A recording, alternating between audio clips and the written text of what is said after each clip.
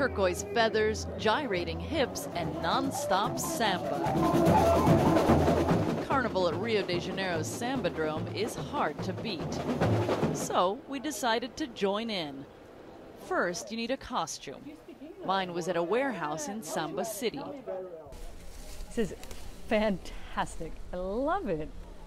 It would also cover me from head to foot.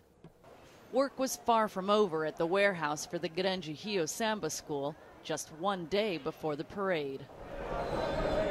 The director says each samba school spends $5 million on their parade and it takes months to prepare. As soon as one carnival ends, you begin working on the next one, he says. Next day, we head to the Sambadrome. I'm here with uh, CNN producer Barbara. We're headed to the parade. We're going to be out there in just a couple of hours. This is the way a lot of people get to the parade grounds. We, of course, will be going for Grande Rio. The parade ground is only a few steps away.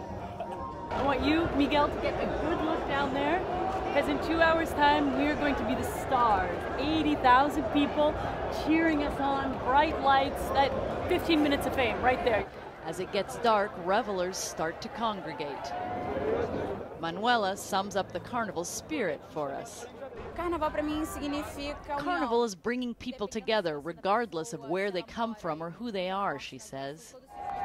The drums begin. I wish I knew the song a little better, but it's going to be great.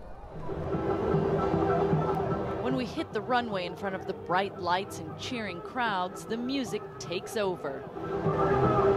We all sing our hearts out, especially when we pass the judges' boxes. Each samba school parades down the 700 meter strip with hundreds of dancers, drummers, and elaborate floats. They're judged on everything from enthusiasm to presentation to the song itself.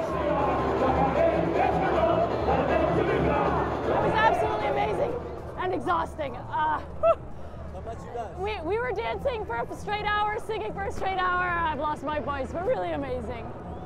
Go Grande Rio! Shasta Darlington, CNN, Rio de Janeiro.